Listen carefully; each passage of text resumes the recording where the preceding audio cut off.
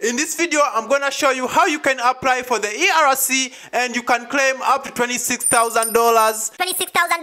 $26,000 for every employee. And by the end of this video, you'll have known some of the requirements that you need to be having so that you can qualify for the ERC.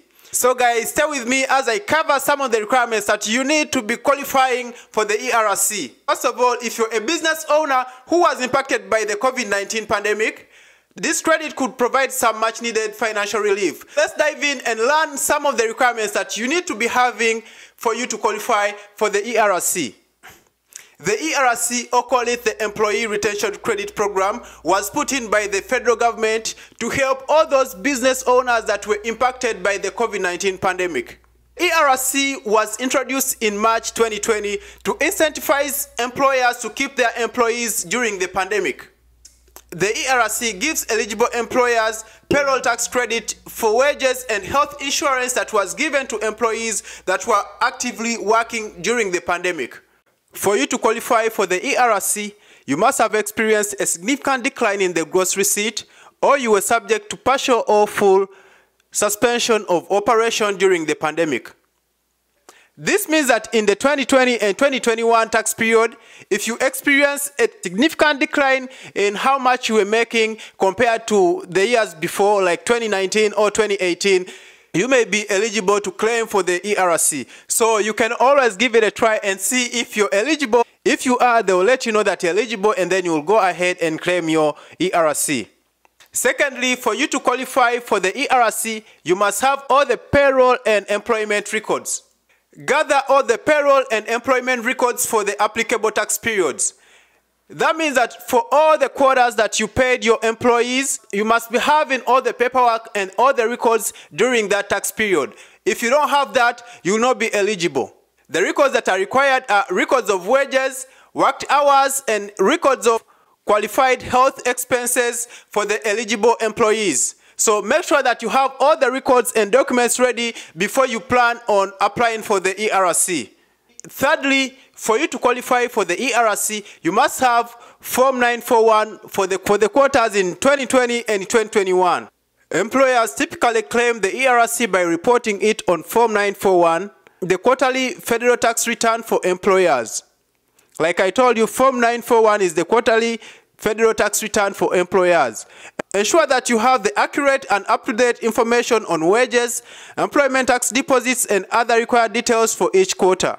Next for the requirements for the application of the ERC is documentation of all eligible expenses.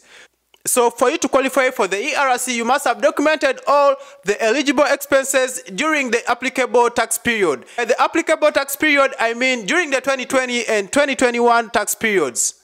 In this case, you should maintain all the documentation supporting all the calculations for the eligible wages and all the health plan expenses on the eligible employees. So make sure that you have all the records and documentation ready before you think about applying for the ERC. And some of the documentations needed may include the payroll records, tax forms, health plan documentation, and, and any other relevant records. So keep it in mind that before you think of applying for the ERC, you should be having all these records. And in number five, for the requirements for the application of the ERC, we shall have calculation of eligible wages. In this case, you should be able to determine all the eligible wages for ERC based on applicable guidelines. This may include assessing the maximum wage limit, considering the impact of other COVID-19 relief such as PPP loans, and calculating the credit based on qualified wages. This one goes to those that receive the PPP loan. Some of the people that receive the PPP loan might not qualify for the ERC, but then you should not take my word for that. So you can always give it a try, but whenever you're applying and you got a PPP loan, just make sure that you include it in your application because you don't want to leave it outside because you know how the feds can be. So make sure that you include it in your application so that you don't run into trouble.